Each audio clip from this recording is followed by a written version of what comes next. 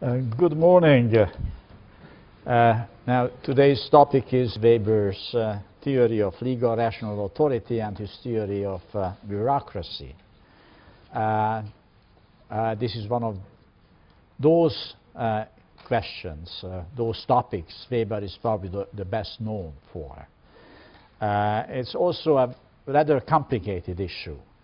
When we are saying legal rational authority, we briefly refer to the rule, rule of law, and we tend to associate in our mind the rule of law uh, with liberal market economies and liberal democracies.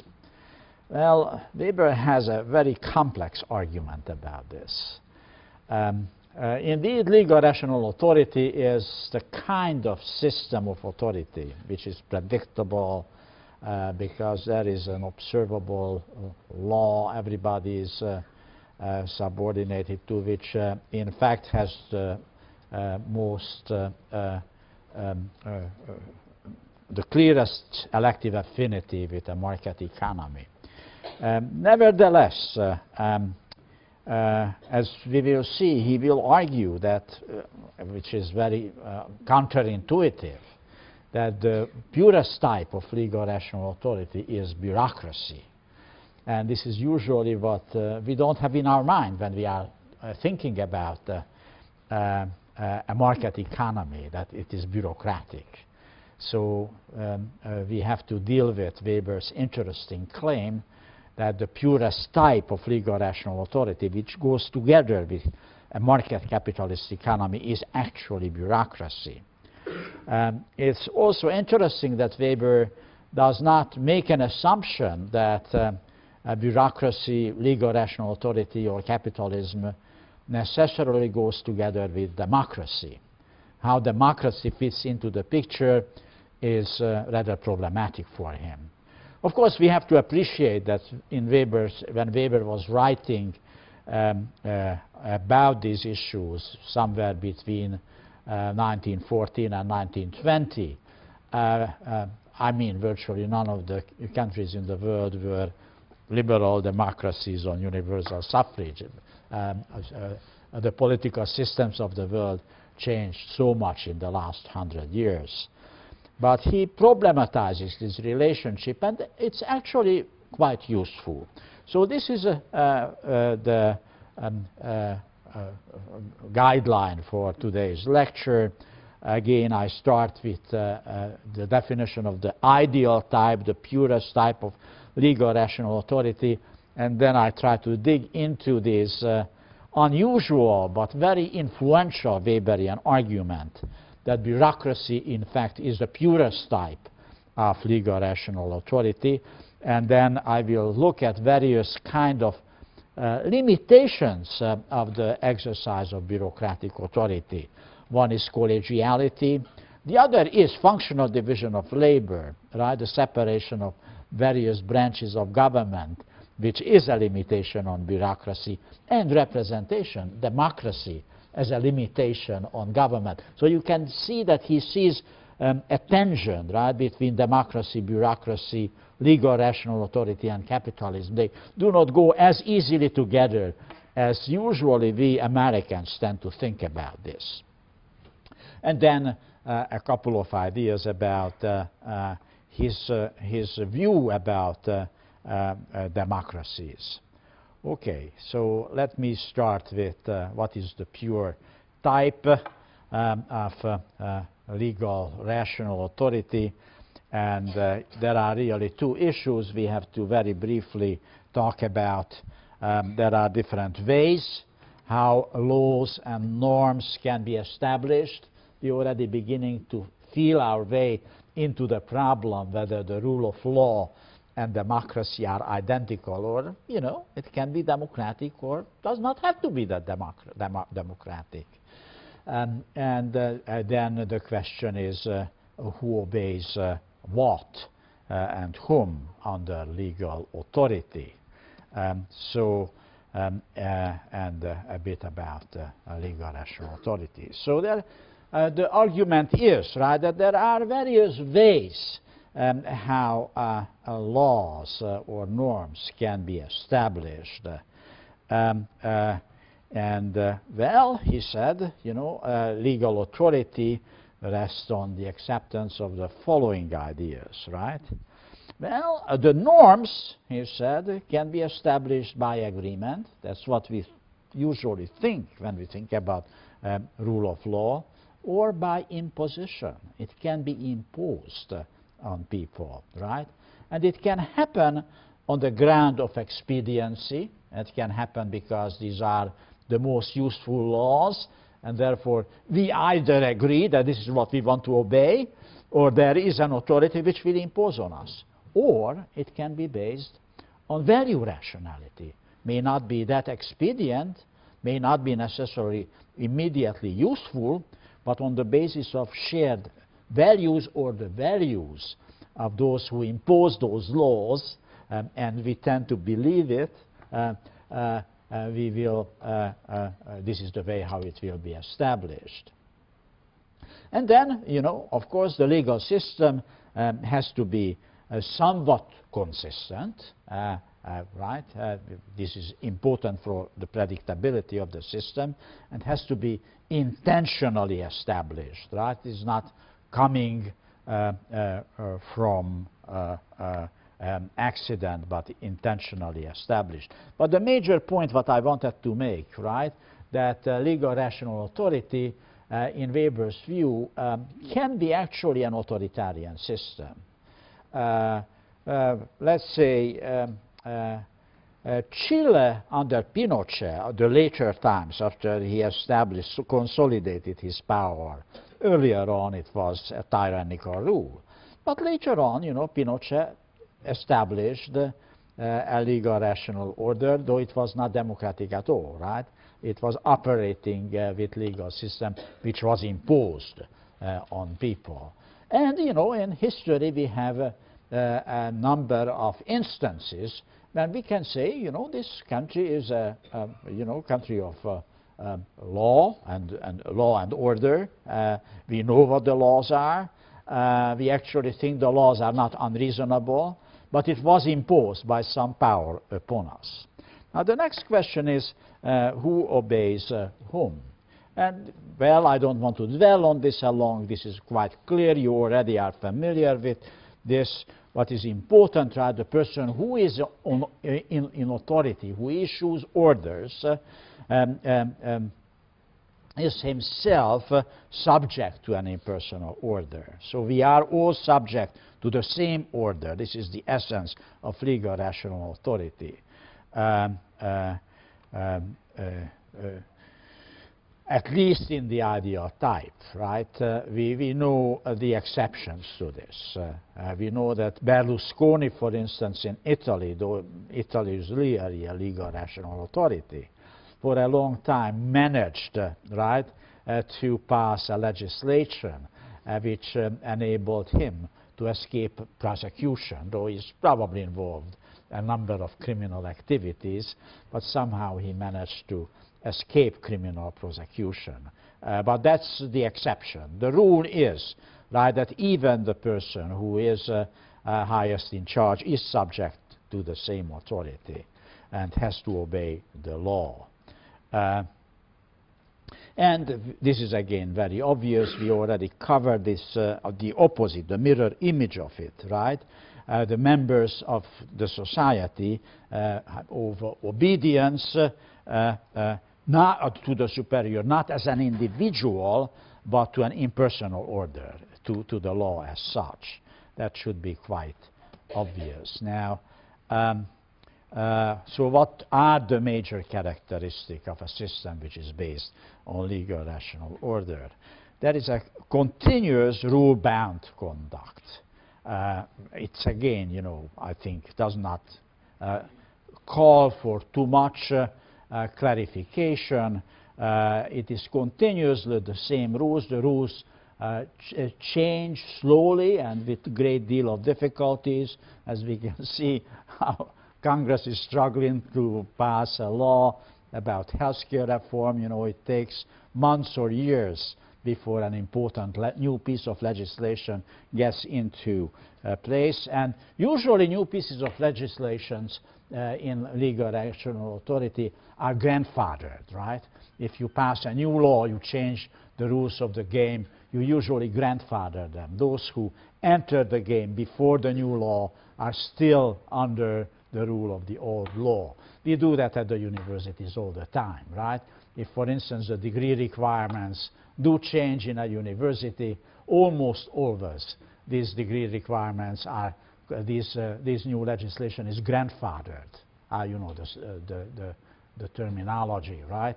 It will not apply to people who are already in the program. It will only apply to people who are entering the program. Or, at, or you know, one way of grandfathering it, that we give people a choice, you know. If you want to operate under the new rule, you can opt for the new rule, uh, or if you want to stay under uh, the old rule, you can stay on the old rule. Uh, only for those, those are the new rule binding who are entering the system now. So that's very important, right? That is continuous and, uh, and, uh, and, and rule bound.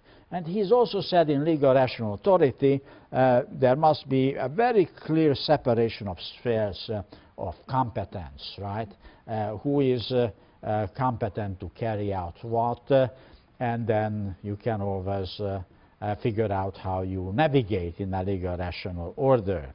You will be told, well, this is not my table, uh, you go somewhere else. So you go and you ask something um, from uh, the director of uh, undergraduate studies, and the director of undergraduate studies might say, go and see uh, the dean of your residential college, right? Because that is the sphere of competence of the residential college. That's the way how legal rational order is supposed to operate.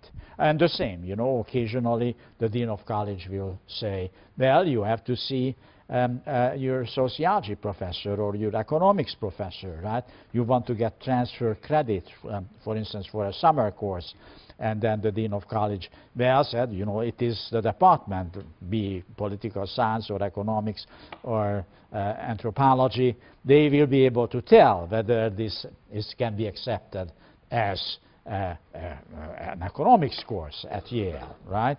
Um, um, and this also implies that there is always a hierarchy and the right to appeal.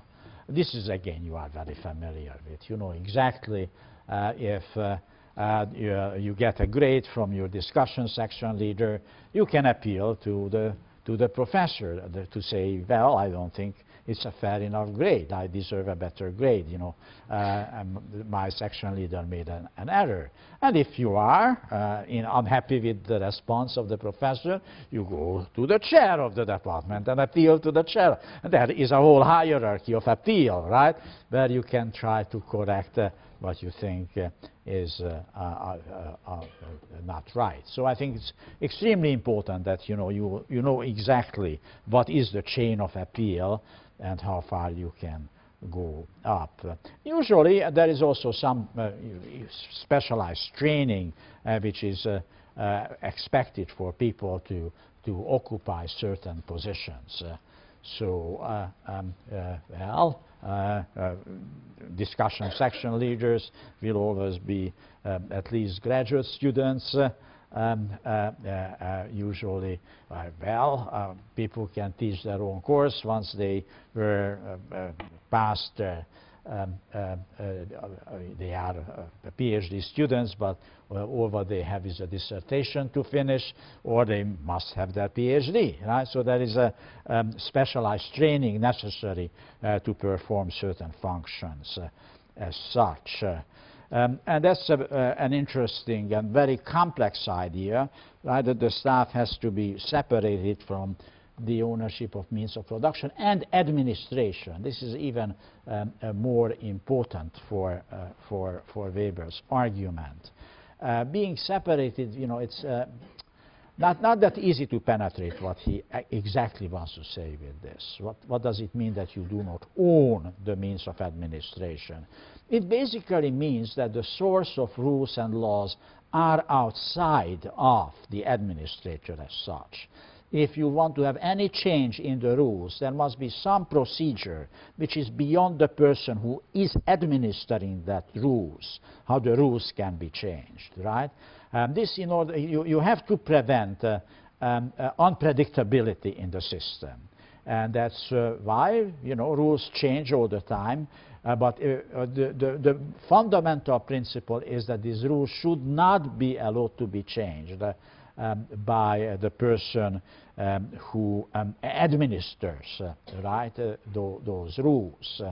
Um, so, uh, you know, just to give a very trivial example, uh, once uh, you got your syllabus and the course requirement and, uh, you know, what kind of um, assignments you have to uh, uh, deliver during uh, the, the, the, course in order to get credit in this course, then, uh, well, though, working out these rules, a professor plays a role, uh, but you know we have to be, get approved by the courses and curriculum committee, and then in a way we are bound by those rules. So on the way, I could not announce you today well, I changed my mind, and there will be uh, an unseen, you know, final examination where you will have uh, you, you, you will have to get a final examination, right?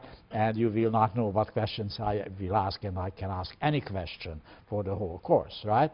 If I would change right these uh, these rules right now, uh, you would have, I'm sure, appeal, you know, against me, against my decision, right? I'm bound by rules. So that, that means that I don't own the means of administration, right? I am, I am administering, right, uh, what is uh, in, in, in the syllabus. Well, there is a little leeway, right? Occasionally I can give you an extension, for instance, uh, uh if you come to me. I mean, therefore, it's a, uh, you know, there is a little flexibility in the system. But fundamentally, you know, the course should be taught as, as it is uh, uh, in the syllabus, and the requirement should be like it is in, in the syllabus. That's what, what it means, right? That you do not own, right, the means of administration. Unlike um, in traditional authority, where a feudal lord uh, does have, uh, does own, uh, appropriated some means of administration from uh, uh, the, the monarch. and, uh, you know, a British or a French high aristocracy could make rules um, um, uh, not uh, implemented the rules, but could make rules as well. The unique feature of modern uh, uh, legal rational authority is that this becomes an impersonal process uh, by which is um, uh, not done. There is a separation between those who implement the rules, and there is a separate procedure, right, how the rules are being established. Is that reasonably clear about ownership of means of administration means. As I pointed out, it's a very Weberian idea, right? For, for Marx, right, the whole issue is the means of uh, uh, ownership of means of production. For Weber, this is everything about uh, administrations, uh, uh, the, uh, the, the means of administration. Okay, now we come to this very interesting Weberian theory of the bureaucracy. Very interesting, very controversial, in many ways very counterintuitive. Uh, you may say it is false. Uh, uh, well, uh, we will see. Uh, that, that is a nice topic for discussion sections.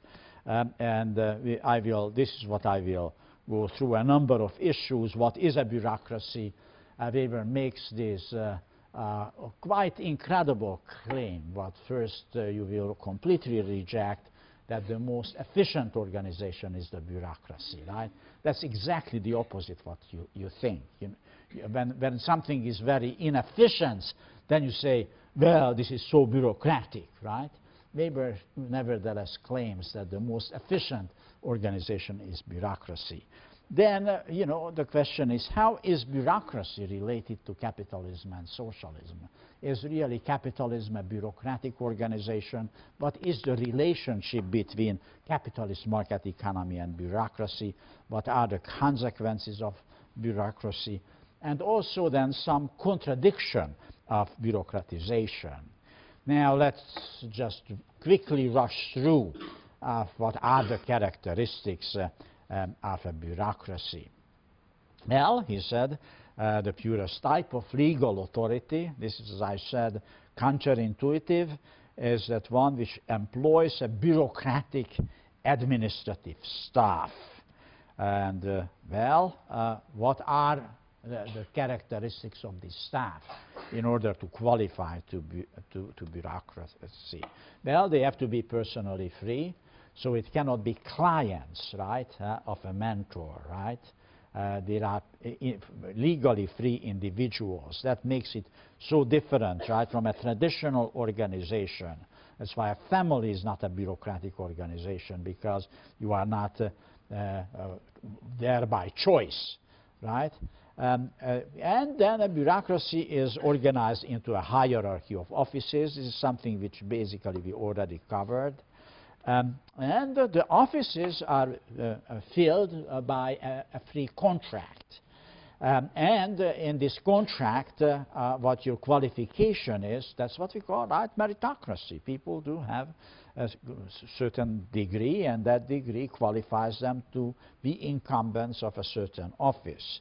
And they receive a, fixed salary. That's, uh, uh, it's not quite a bureaucratic organization um, if you are working for a commission, right? Uh, you are really in a bureaucratic organization when you sign uh, a contract uh, and you know exactly what your fringe benefits will be and what your annual salary will, will be. Uh, uh, typically, the office is, is the sole occupation of the incumbents, and it constitutes a career. This is also very important, again, very different uh, from a traditional organization where people uh, could uh, uh actually be, be incumbents uh, of a number of positions and could draw, in fact, even incomes from a number of positions. In a pure bureaucratic organization, uh, you really can have only um, a, single occupation. Um, you know, if, for instance, somebody is appointed uh, with tenure to Yale um, and uh, is coming from another institution will have to resign from his or her tenure at the other institution. Uh, if you are employed by Yale, you can be only a Yale employee. You cannot hold multiple jobs at the same time. Uh, um, uh, and it constitutes a career. Uh, the career means there is a ladder. You have some sense, you know, how you will progress in this bureaucratic hierarchy. Uh, again, the universities are classical bureaucracies. You know that you enter as an assistant professor, uh, then you are seven to nine years, depending on the institution, uh, without tenure, then you are being promoted to tenure, then you expect at one point of time to become a full professor, blah, blah, blah. Right? This is what it meant, it is a career. And in many bureaucratic organizations, even in the business world, right, you have a sense, you know, how you progress. Uh, in a law firm, right, if you enter a law firm, right, uh, you, ha you have a pretty clear idea that it's actually very similar to the universities. Usually for seven years you are working for the law firm, and that's when you uh, can become, right, a partner in the law firm, right? And um, the, the you know, so you, you, you, you have a sense how your career will unfold. Um, uh, well, uh, this is uh, something we uh, already kind of uh, um, uh, covered, right, that you, you, are separated from the means of administration because you are subjected to discipline and control. Now comes the very controversial idea and what we, we have to talk about it. Uh, Weber's claim, you know, which is uh, against, very much against common sense, uh, that uh, uh, the purely bureaucratic type of administration is capable of attaining the highest degree of efficiency. Uh, uh, well, let me, on the other hand, from this citation, underline uh, an important point here. And th th this is, you know, of course, Weber was talking about a very specific type of organization, you know, bureaucracies, which are were, relatively speaking, historically quite efficient, like the, the Prussian type of bureaucracy. But here, here he emphasizes, and this is, these are two very important words. from the technical point of view, right? The bureaucracy from the technical point of view is the most efficient organization. It does not necessarily mean that it does achieve the highest welfare for people who are seeking to eh, not navigate in a bureaucratic organization. But technically speaking, it is the most efficient. Why? Because it has a very high degree of predictability.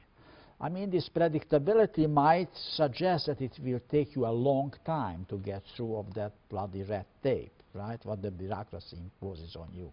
But you know exactly the red tape, and you know if you are stuck, you know how to try to appeal and to get the process moving. Sort and therefore, the crucial issue, he said, why the bureaucracy is so efficient because it is technically competent uh, and it is, it is predictable. And uh, this is what makes it uh, actually uh, uh, so to fit so well with a, a, a, a market. well, he, he said, and what else?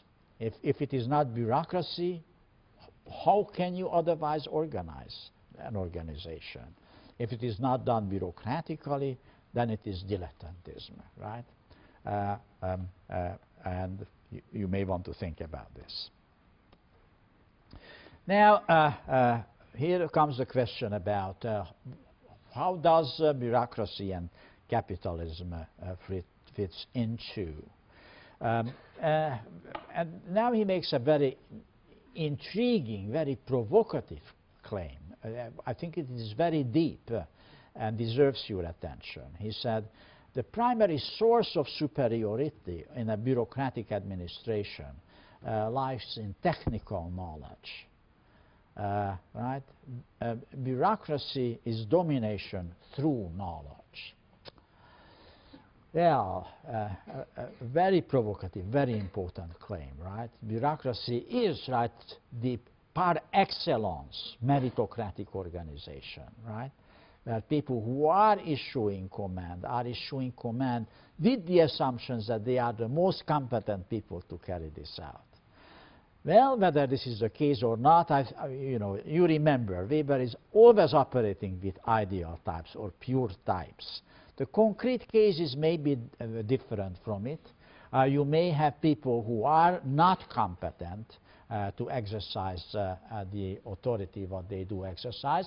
But I think it is important that you have the ideal type because then you can be upset and you say, this bloody bastard, right? It is incompetent, cannot do the job. And then you can appeal and to say, why don't you remove this person? Because this person does not know what his or her job is. And actually, such appeal very often is consequential. People, occasionally, I remove that position if their incompetence is being demonstrated. Um, well, this is very difficult to do at a university because universities, we have this system of tenure, you know.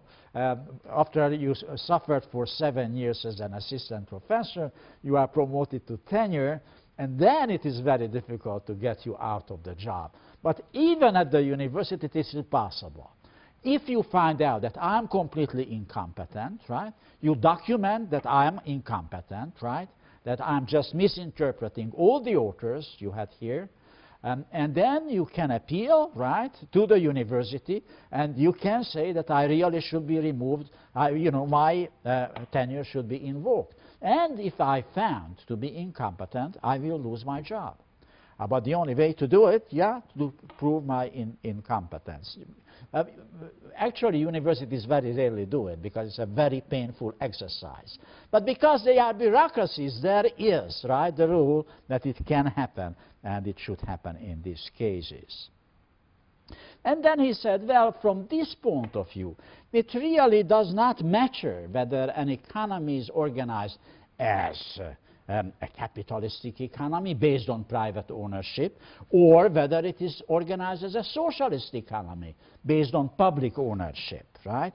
And in fact, now he goes even further. And it's very interesting what he's, he got to say here. In, um, uh, he's writing this somewhere in 1919, 1920. Uh, the Soviet Union already exists. Soviet Russia already exists.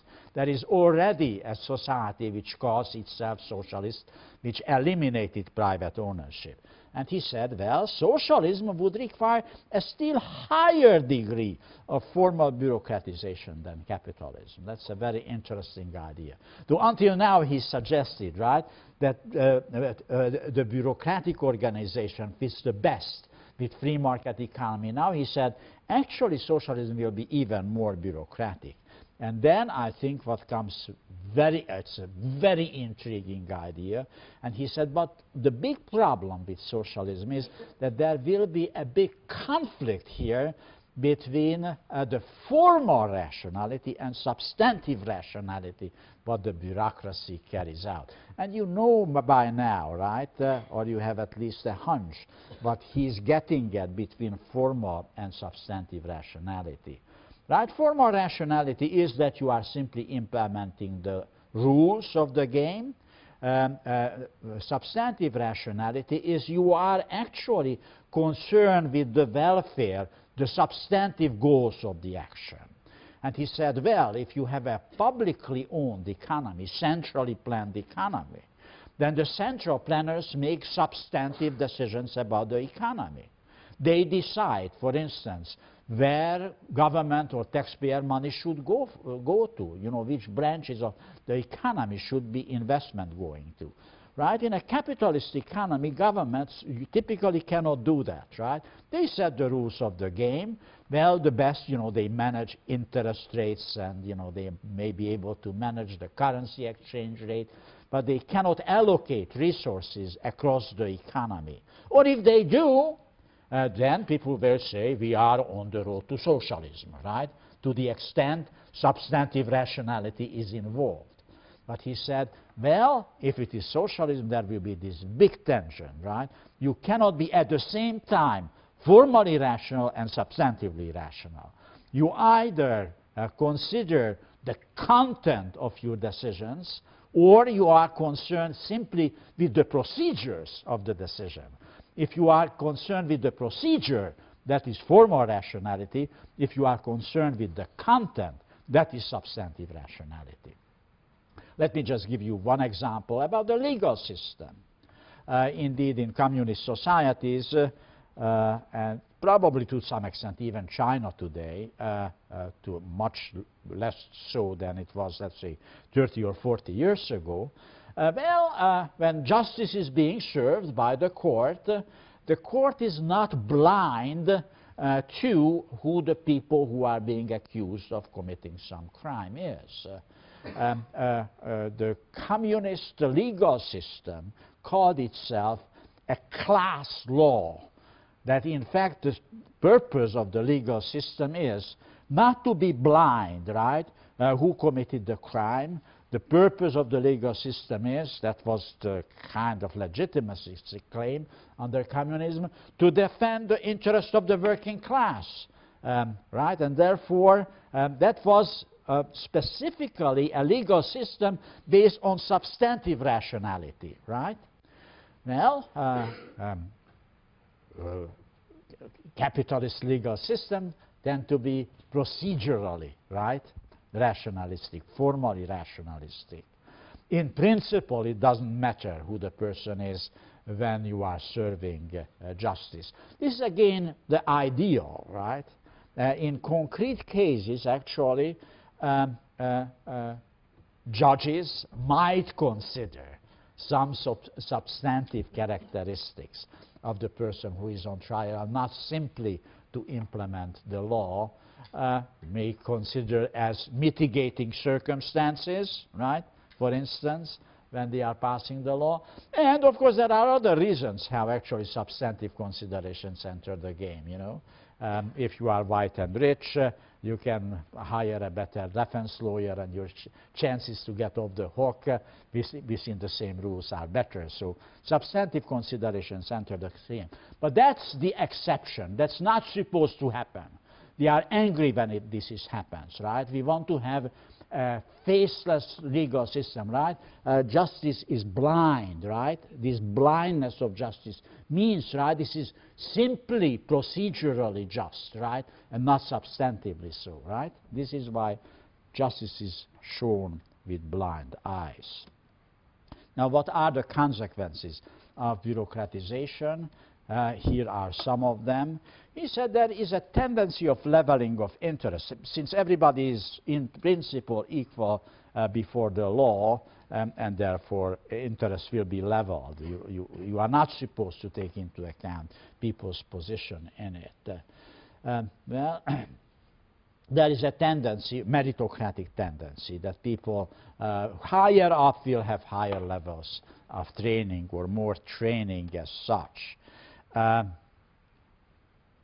and uh, th this is again, you know, justice is blind. Uh, uh, what is Im uh, important is uh, uh, that the essence of bureaucracy has to be a formalistic impersonality, sine ira et studio, without hatred and passion, right? Uh, this is why occasionally you are kind of upset when you are confronted with the bureaucracy. You have a special problem, you know, and then the bureaucracy tends to be insensitive to your special problem, right? Uh, uh, uh when it is a real bureaucracy, right? Uh, you can say, you know, I just had a, a fight with my partner and this is why I cannot take the test. Well, sine ira et studio. I mean, uh, in a real bureaucratic uh, uh, discussion, leader or professor will say, too bad, uh, you know, this is your personal business. The test is right now, right? Uh, you take it or leave it. Well, I mean, uh, we are usually not that stupid bureaucrats, but that's the spirit of bureaucracy, right? without hatred and passion, that also means that you are not motivated by um, uh, uh, personal uh, feelings. You know, you don't differentiate. This is a person I like, and then I give preferences or dislike, and therefore give a, a, a grade. All right, there are a number of contradictions of bureaucracy. Uh, uh, it is uh, very formalistic.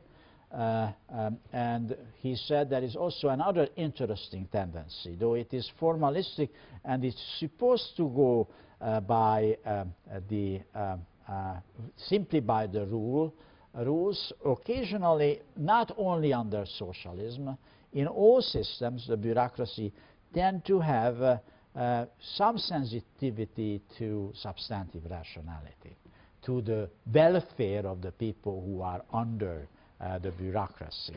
And then it can turn into a clientelistic system. The, bu the bureaucracy can, can have these, uh, uh, these tendency. And think about welfare bureaucracies, right, which do have a great deal of clientelistic tendencies built into them.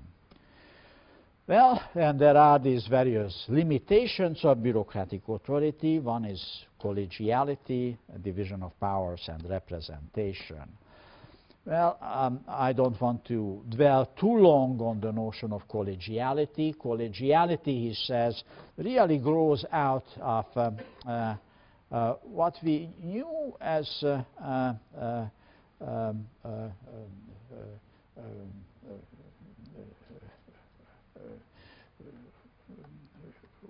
as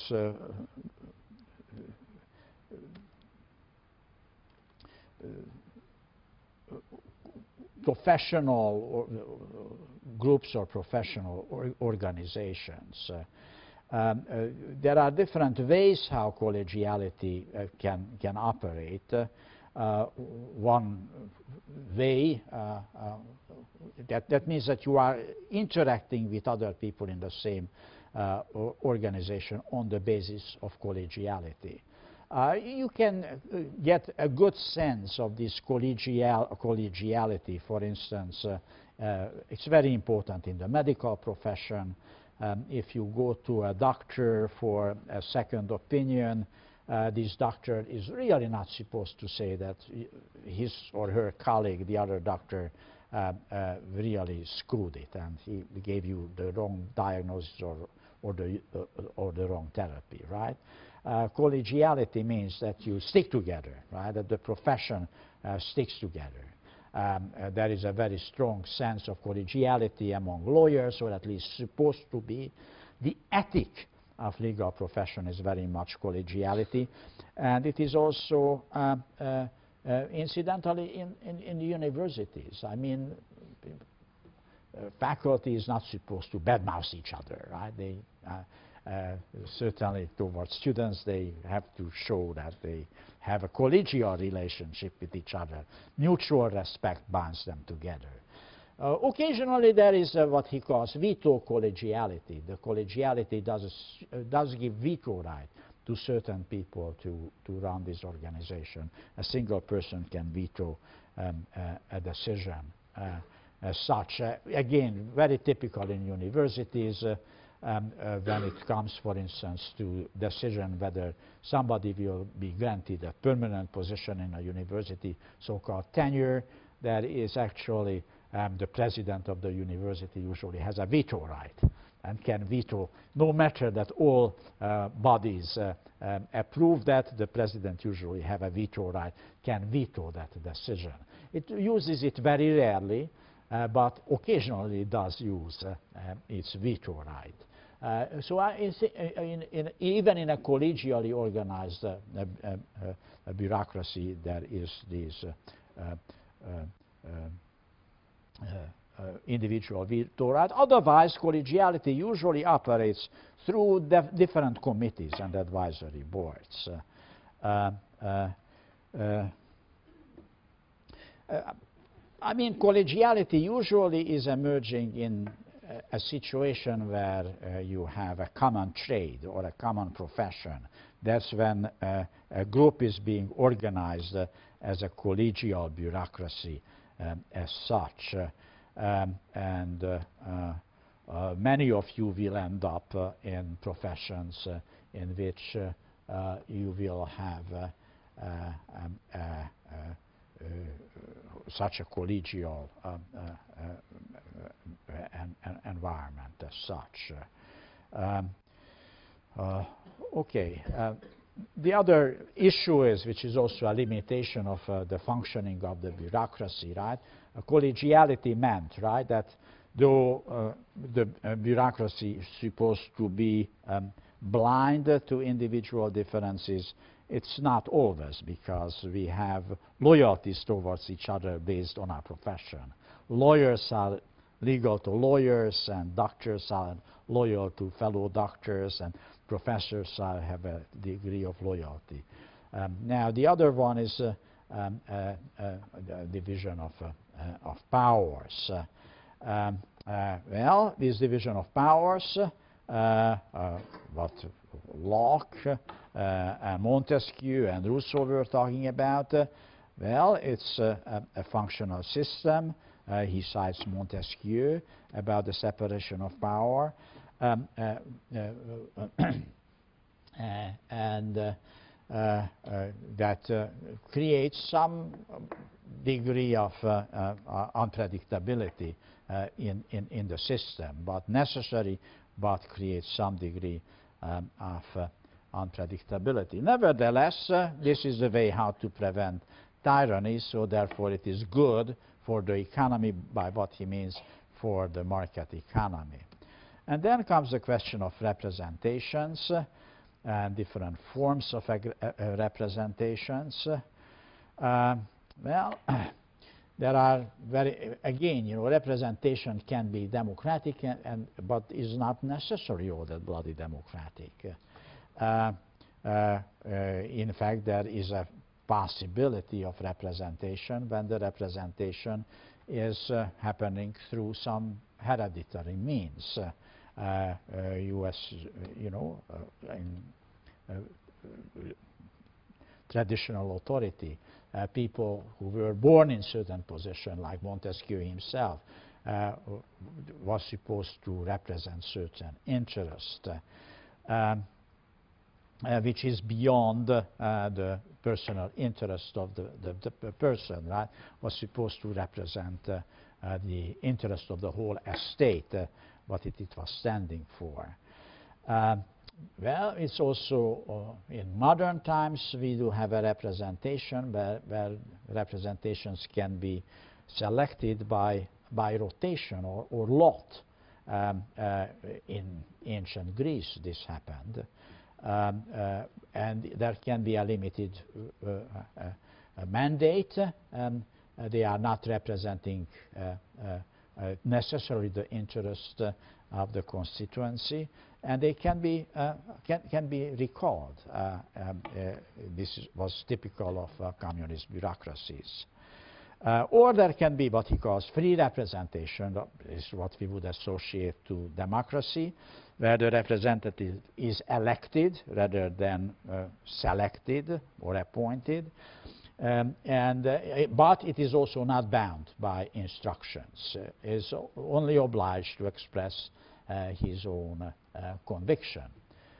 so this is what we have seen in the Congress happening, right? That Demo Democrats um, uh, voted with uh, Republicans because those Democrats argued I'm not under party discipline, right? I am acting out of my conscience. Um, well, uh, a couple of ideas about free representation and how it goes with a capitalist economy. Well, what is crucial, right, and Weber keeps coming back and back to this, what is vital for a capitalist economy is to be calculability and reliability. Um, uh, uh, um, and uh, uh well, in uh, early stages, uh, in fact, there was property qualification, who could actually vote, and that was implemented in order to make the system more predictable for the propertied classes. There was a great deal of concern by the bourgeoisie to give universal suffrage because they felt then this will be unpredictable who will um, win the elections. Um, in fact, uh, very often these were monarchs and absolutist monarchs who were pushing for extension right, uh, of suffrage because they wanted to use this against the property uh, bourgeoisie. That's uh, again something very counterintuitive, but I think uh, historically a very accurate uh, uh, uh, understanding, right? So one has to be very careful what exactly the relationship with a capitalist economic order and democracy is. Uh, so uh, Weber's fundamental argument is what many people who do the history of democratic movement will agree, others will disagree with him. Again, a good subject for discussion. Um, uh, parliamentary free representation was the product uh, between uh, struggles, actual struggles between monarchs and the bourgeoisie. Um, well, I think I just leave this here. Well, probably gave us enough um, food for the discussion. Thank you.